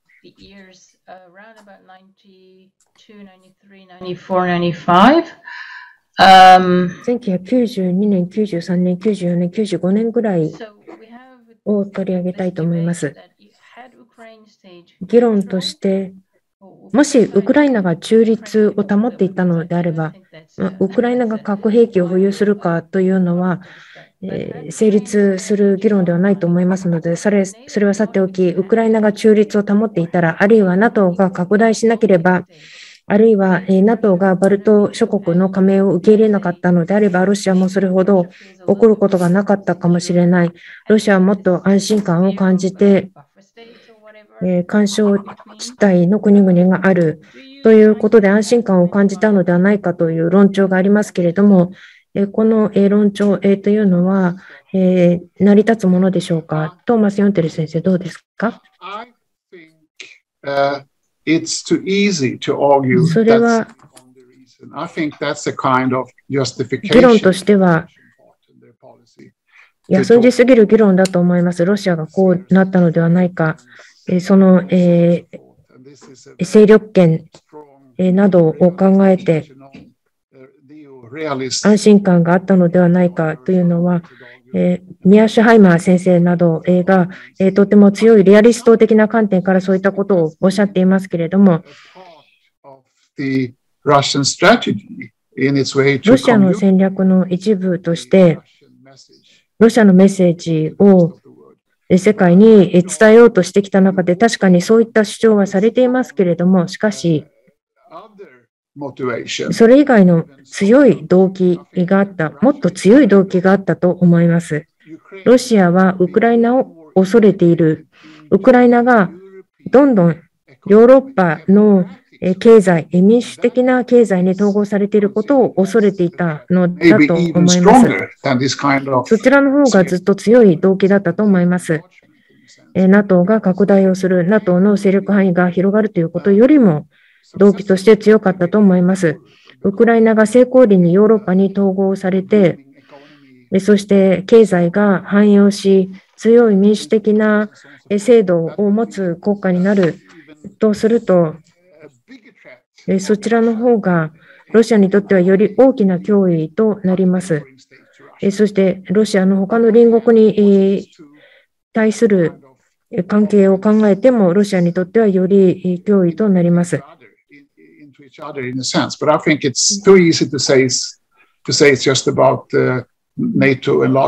NATO の拡大については、そういうことが言えると思います。概念として、北欧の、え連合、バルト諸国、ウクライナ、ベラルーシなどの北欧の連合という考え方はなかったんでしょうか？冷戦後ですか？そういった考え方はありませんでした。ただし、タピオ・ユントネン先生がおっしゃったように、フィンランド、えー、と一部の北欧諸国の協力の議論などはありましたが、またクリントンがより大きな責任をバルト海地域で、え果たしてほしいということをバルト海諸国に対して、え呼びかけたことはありましたけれども、それ以外に北欧連合というようなことは議論されたことはないと思います。パスカル、どうですか？私の方からも発言をしたいと思います。先ほどの質問についてです。私は先ほどおっしゃったことはその通りだと思うからです。トーマス・ヨンテル先生がお示しになったのは、これは解釈の問題である。そしてロシアはどう思っているのか。ロシアは民主主義を恐れているのか。民主主義というのは、えー、自由主義の物事の捉え方、議論の仕方です。それともロシアはえー、ハードなリアリストの形で外交政策を捉えているのか、かたやロシアはリアリスト的な解釈をとっていると伝えてきています。ラブロフ外相は、文字通り、ジョン・ミアシュハイマー先生を引用しているんです。会議で引用しています。ミアシュハイマー先生は、ロシアのことよくわかっているっていうようなことを言っています。それが、一つ言えること。その一方で、世界の他の地域でロシアがどういう行動をとっているのか、モンゴルを見てみましょう。別の地域で問題がどうなっているのかを見て、比較をして分析するのが面白いと思いますが、2015年、モンゴルは国連に対して中立国でありたいとそして、ポーランドやチェコスロバキアやブルガリアのような立場にアジアではありました。ソ連の一部ではなかったけれども、衛星国であり、明確にソ連の影響下にありました。モンゴルの外交官、引退した外交官たちもその当時のことを覚えていて、ソ連はえジュニアなパートナーで、え命令に従わなければいけない相手だとみなしていたと言っていました。でも、モンゴルは今、え独立な外交政策を取り、中立でありたいと言っている、また民主化しています。急速に民主化が進んでいます。この30年間でです。民主主義の真似をしているわけではなく、え多数正当性、そして憲法の改正も行い、政権交代も行われるような機能する民主主義国家となり、それはそれを受け入れています。中国もちなみに受け入れています。ここでは成功裏にバッファー国家として、えー、そしてこれは民主、えー、主義体制であるかどうか、えー、ということにはかかわらず、紛争の、えー、ポテンシャル、ロシアと中国との間の、え紛争のポテンシャルを和らげる存在で、地政学的に重要な立場にあるモンゴルではそうなっていて、問題にはなっていない。しかし、東ヨーロッパでは問題が起こっています。2つ目の理由としては、ロシアの学者、それから専門家がいまして、チャック・マトロック外交官、ソ連に対する最後のアメリカからの大使でしたけれども、NATO の拡大は間違いだったというふうに言っていますし、何人かの大使がそう言っている、ウクライナはとても重要な問題だったということを、ロシアにとって重要だったということは分かっていた。そして、NATO がウクライナまで拡大をするのであれば、ロシアは対応しざるを得なかっただろうということを言う学者、専門家は西側にもいます。これは予想されたことだって予想が現実になったのだというのです。そういう解釈、リアリスト派たちはそういう解釈をしています。まだこの問題は、終わった問題ではありません。昨日でしたか、一昨日でしたか、マクロン、大統領、シュルツ首相とドラギ首相がキーキーウを訪問し、EU の、加盟を約束をした、そしてウクライナの NATO 加盟については心配していないと発言をしました。ウクライナの将来はどうなるのか、フィンランド、スウェーデンはおそらく NATO に加盟をするでしょう。ウクライナが NATO に加盟をするという、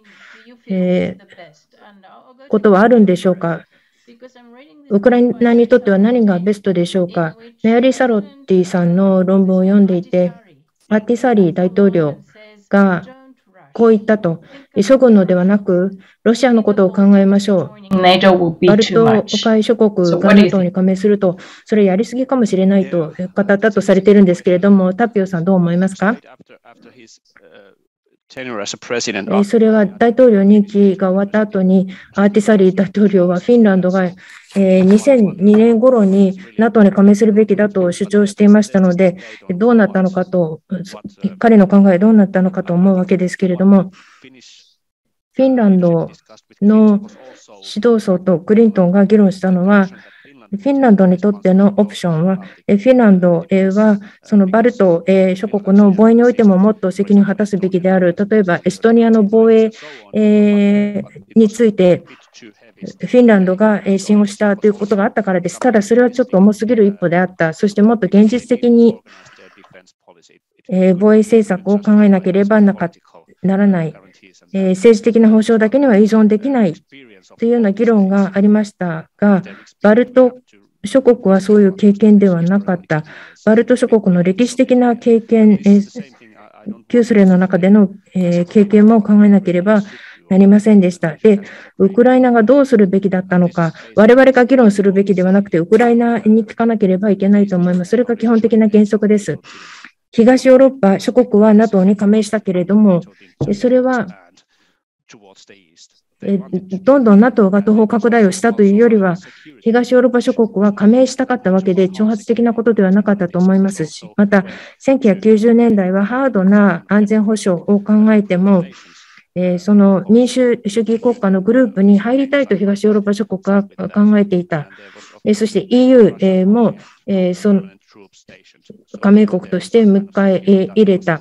で安全保障上のジレンマ、それから、えー、機微に触れる、えー、状況が東ヨーロッパ諸国側にもあったので、拡大が進んでいたのですけれども、それを超えて考えると、事実に反する形で憶測することになると思います。ヨーロッパの安全保障は NATO がなかったら、NATO 拡大がなかったらどうなっていたのか、えロシアはどうなっていたのか、えそして、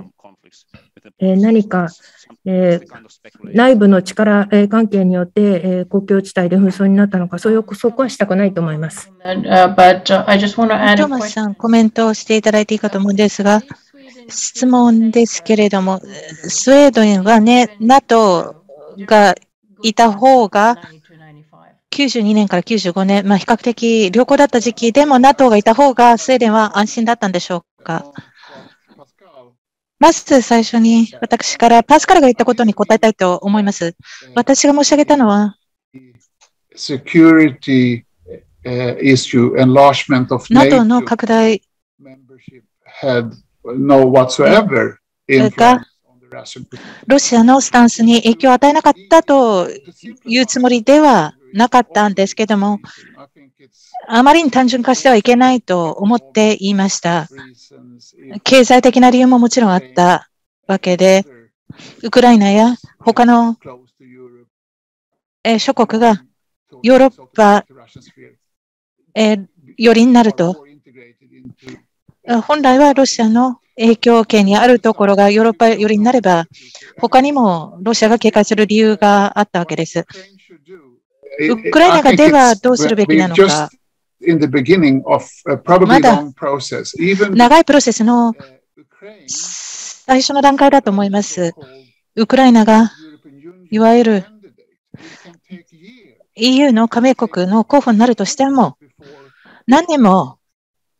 かかるでしょう。えー、加盟果たすには何年も場合によっては10年以上かかるかもしれません。パスカル、えー、近い将来えー、ではなく、長期的な視点が必要です。えー、米国、えー、それから NATO 加盟国、えー、としても一体何が可能か段階的に分析するでしょう。ただ、協力、えー、関係はもちろんウクライナと続く。もちろんロシアがウクライナを全部飲み込んでしまわなければということですが、したがって行方は見通しにくいところです。短期的には NATO の加盟というのは、ロシア、ウクライナにとっては論外です。EU もそうかもしれません。ただ、将来的にはわからない。そうかもしれない。岩間先生のご質問で、NATO のディスカッション、ディベートを90年代初頭にスウェーデン国内で行いました。当時は、やはり改めてスウェーデンから見たヨーロッパの情勢、安保情勢は、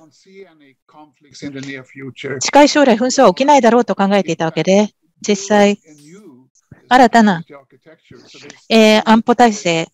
セキュリティアーキテクチャを構築をしつつあるところで、NATO に加盟する理由がなかったわけです。政党の一部、それから個人の中には、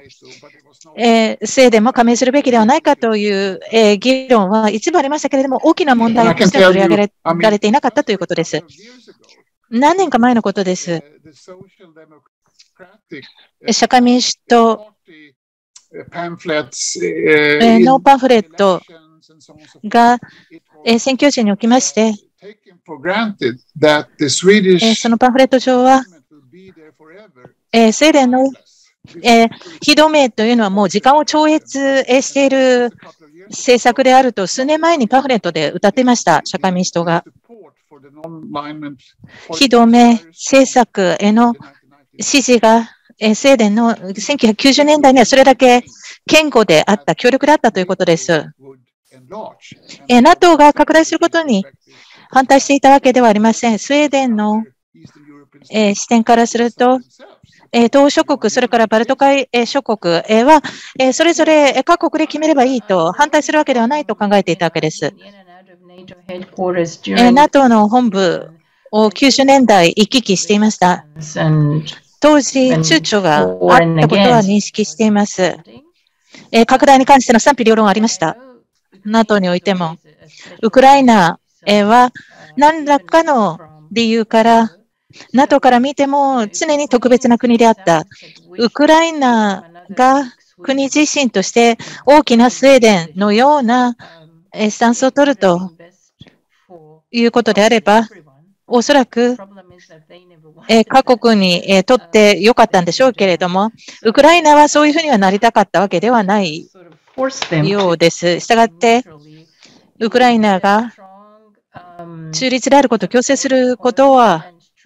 できない。国内の強力な支持が必要ですし、え必要であれば自国を、え戦時下で中立であるというのであれば、え防衛することにコミットをしなければいけません。えー、質疑のボックスの中で、えー、中立性に関する、えー、概念に関しての質問がありますけれども、パスカルさん見えますか、え戦時下への中立性というのは有効なのか、その戦争が不法であるとされても、えー、戦争がカラン・ブライアンパクト、1920年代におきまして不法化されたと。この法律が中立条約を凌駕したわけです。最終的には、ただし、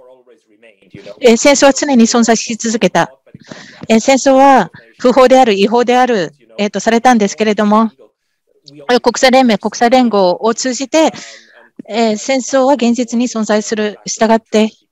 えー、戦争が現実にあるということで、えー、中立も残ったというか、存在し続けたということかと思います。そういう期間が長かった。ウクライナに関して一言復元したいんですが、一つ大事な点があります。2014年、憲法上中立と歌ったんですけれども、クリミアがロシアに併合されて、それを削除しました。タイミングが重要です。1991年から2014年まで、ウクライナは政権の交代がありました。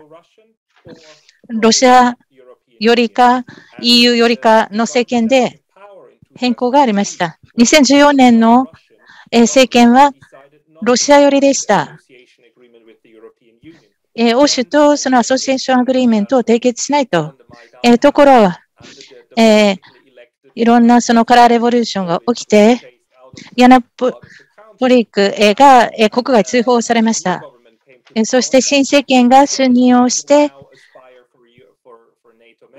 NATO 加盟を目指そうと言い出した。そしてその段階で2014年の春ですけれども、ロシアがクリミア半島を侵略いたしまして、公安を取ったわけです。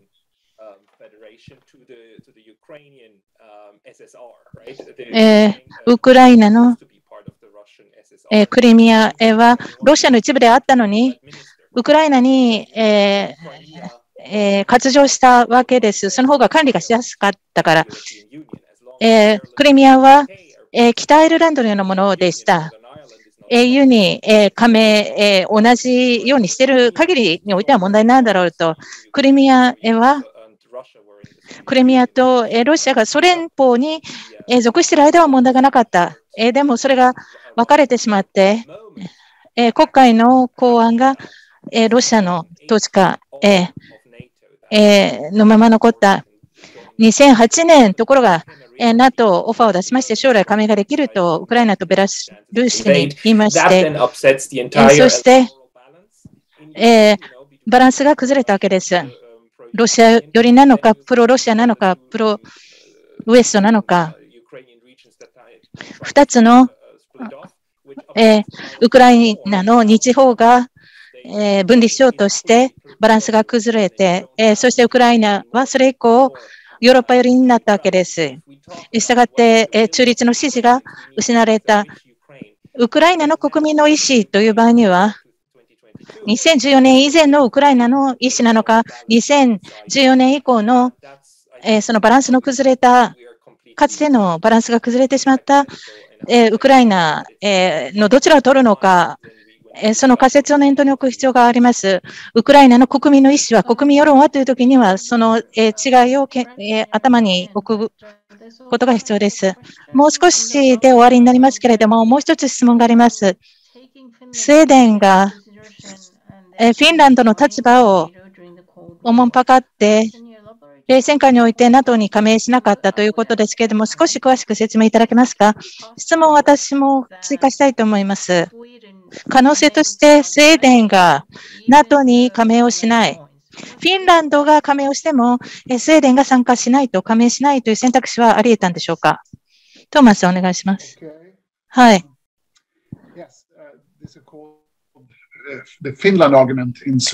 スウェーデンの外交政策で、えー、フィンランドへの問題と、フィンランドの議論というのがあります。スウェーデンが NATO 加盟するのであれば、えー、冷戦下においてですね、そうすると、フィンランド、えー、が脆弱な立場に置かれ、ロシアによってフィンランドが飲み込まれるかもしれない、吸収されるかもしれない。という議論がありました。スウェーデンだけではなく、えー、NATO がロシアに近いところまで、えー、来ていると、ロシアが感じるからだと。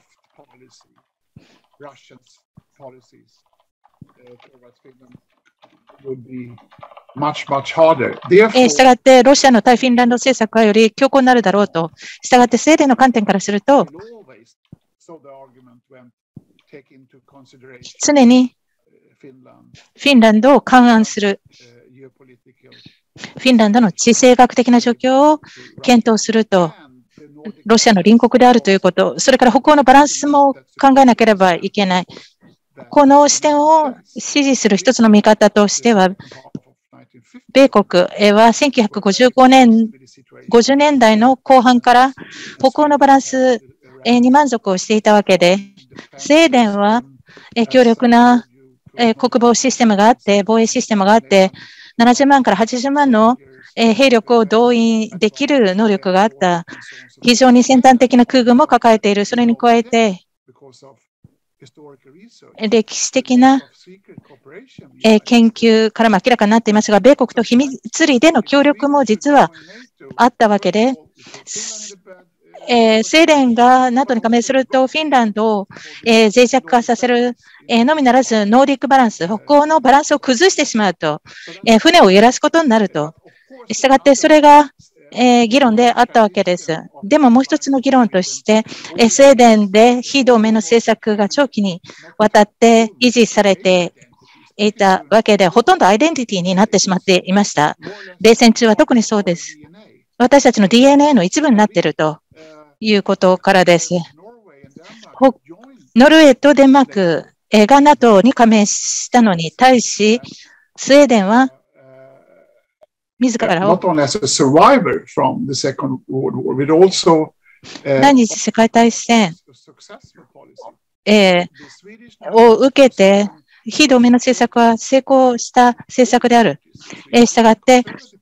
えー、保守党から、えー、含め各政党からえー、大戦後、えー、この非同盟の政策はずっと支持をされてきたわけです。社会民主党だけではありません。保守党も支持していました。ただ、フィンランドの議論は、えー、かなり強力でした。フィンランドのことを考えるということです。冷戦後は、冷戦中の話を忘れないように、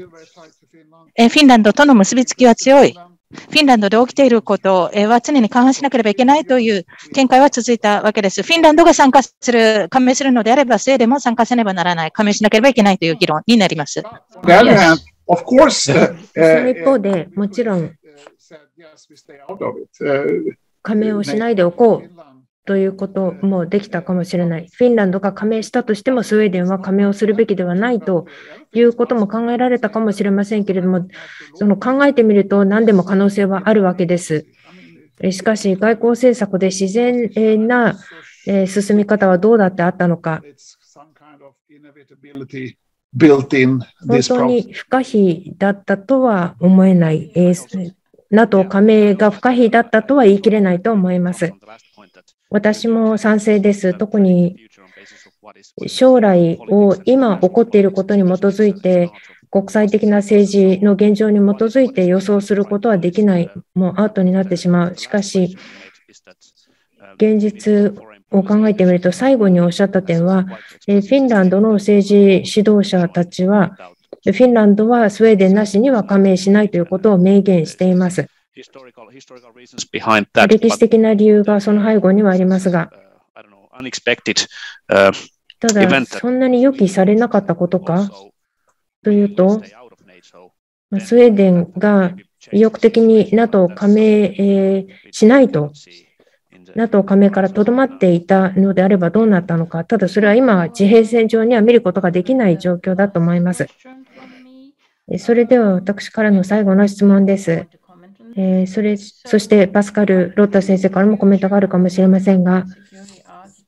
欧州の安全保障上の体制は将来どうなるのか、どういったダメージを受けていて、それをどう修復するのでしょうか？想像してみると、これから数ヶ月、欧州の主要国の一部が停戦を呼びかける、そして OSCE に戻る、それからミンスク合意に立ち返るようにという呼びかけをするということも考えられなくはありません。そういうことによって通常に戻るのか、また元のように戻るのか、そしてプーチン、えのロシアがまたテーブルに戻ることができるのか、ヨーロッパの安全保障体制はどのように今後構築されていくでしょうか？トマス・ヨンテル先生、難しい質問です。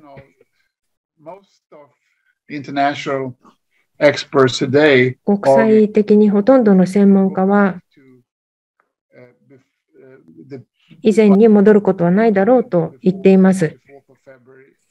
2月24日以前には戻らない。もしかしたらそうかもしれないし、そうではないかもしれません。ロシアがどの程度その侵攻において目的を達成するのか、成功するのかでしょう。今のところそれほど効率よく進んでいるようではない。ロシアの戦争能力というのは半年前に見られたほど効率的ではないので、何とも言うのは難しいものがありますけれども、これは新しい状況です。ここで議論をしたように、フィンランドとスウェーデンは間違いなく NATO に加盟をするでしょう。EU との関係もより強化される、ウクライナと EU との関係もより強化されるでしょう。で、それがその先どうなっていくのか本当に難しいです。もちろん何らかの関係をロシアとは維持しなければならないでしょう。しかし、どういう形でというのを申し上げるのは本当に難しいので、それ以上憶測は、えー、避けたいと思います。OSCE に将来はあると思いますか？あまりないと思います。今、えー、とても危うい状況にあると思います。またその後どうなるのかということを予見するのも難しいです。今の現状を考えると、以前の状態、2021年12月以前の状態に戻るということは考えにくいと思います。何か新しいものが起こらなければいけないと思います。えー、ただ、えー、歴史を振り返ると、慰めを見出すことができるのかもしれない。1970年代のデタントというのは、えー、かなり、えー、危機、キューバ、えー、危機など、危機の後に訪れた。えー、そして、2年後には、えー、軍縮条約の交渉が進むようになった、そして超大国間の対話が見られるようになりましたので、これは超大国中心の見方えー、に過ぎないかもしれませんけれども、予想しなかったことが起こるということは可能性としてあると思います。えー、ただ、こういった形で過去と、えー、比喩を、えー、過去を比喩として捉えると何か新しいものが起こってくる、そこで間違いを犯す可能性もありますし、中国も超大国として、え競争関係にあるということですので、冷戦時代の二極体制ではなく多極体制であるということも忘れてはならないと思いますけれども、危機の後には、え対話の時代があったということを考えるのは少し、え慰めにはなると思います。では、え超大国の去就を見て、パスカル・ロッタス先生はどう思いますか？安全保障の体制は今、ヨーロッパにはない不安定な状態である。安全保障が欠けている状態である。しかも、あまり好ましくない状況、より対立が深まる状況に循循環している、協力が深まる、対話が深まるのではなく、そして OSCE もとても悲しい状態にあると思います。ロシアの12月の要求、ヨーロッパの安全保障を、えー、共同で議論をして、新しいストラクチャーを作ろうということは、完全に拒絶をされた。そして、えー、NATO と、えー、ロシアは、全く今、対話がない状態です。ヨーロッパではしかしながら、その CSCE のようなプロセスこそが、えー、強く必要とされています。第2の CSCE のプロセスといいますか、交渉をして、そしてロシアも含める、えー、体制を作らなければいけませんが、えー、今はそれはロシアが勝ったことを認めてしまうことになるので、それは認められない。今の、えー、ヨーロッパの論理というのは非常に悲しい、好戦的な、えー、論理になっています。ウクライナを支援するのか、えロシアを、えサポートするのかで分断しようとしている。でもそうではない。ヨーロッパ大陸は小さな大陸です。その中でお互いに、えー全く同じ行動をとってくれないところとも対話をしていかなければなりません。今、悪循環に陥っているような気がします。ある超大国がヨーロッパで好ましくないことを行った場合、今、ロシアが好ましくない、えウクライナ侵攻をしていますけれども、2003年はアメリカがイラクに侵攻した、そしてリビアの爆撃が国連の、えー、承認なしに行われました。そして今も戦争の可能性としては NATO の加盟国とイランとの間の可能性というのは残っている。それは外れたわけではありませんし、中東もとても不安定です。ですから、また別のこの恐ろしいような状況が、例えば中東で起こったとします。その場合には、欧州の多数がイラク侵攻に対してと同じように反対の立場を取るかもしれません。それからフィンランドとスウェーデンが置かれているような、罠に置かれたような状態、エントラップメントの状態になってしまうかもしれない。えただ、過去20年間を振り返ってみると、平和な時代ではなかった、特に中東にとっては、え惨憺たる状況でありました。で、何かそこで紛争が起これば、ヨーロッパ大陸の安全保障の論理、対話にも影響を及ぼすことになります。え時間を過ぎてしまいましたので、このセッションを終えなければなりません。えまだ議論しなければいけないことは多く残っていますけれども、非常に役に立つ議論ができたと思います。ヨーロッパからはとても遠いところに私たちはいるわけですけれども、距離は近づいてきましたが、日本の方々の多くがウクライナ国民にこの危機において非常に、え共感をしていることは意外なほどでした。政府からも一貫して EU、G7 と同じ歩調の政策を維持するということが見られており、支持をするという強い立場が示されています、ウクライナに対して。ただ、ウクライナに対しては、今の経済問題、経済動向が悪くなりそうということで、注目度が薄れかかっているという状況です。マドリードでの NATO 首脳会議がえー、間もなく開催されますので、また何らかのコミットメントの合意が見られるかもしれませんけれども、それは、えー、遠い将来に向けての一歩、えー、だと思います。えー、トマス・ヨンテル先生、タピオ・ユントゥネン先生、本日はご参加いただきありがとうございました。えー、そしてそれぞれのお国の視点からの、えー、議論をしていただきありがとうございました。これからも意見交換の場を将来持つことができればと思っています。また、パスカル・ロッタさんのコメントもありがとうございました。少し違った視点からご発言をいただき、より豊かな議論を持つことができました。どうもありがとうございました。それでは閉会といたします。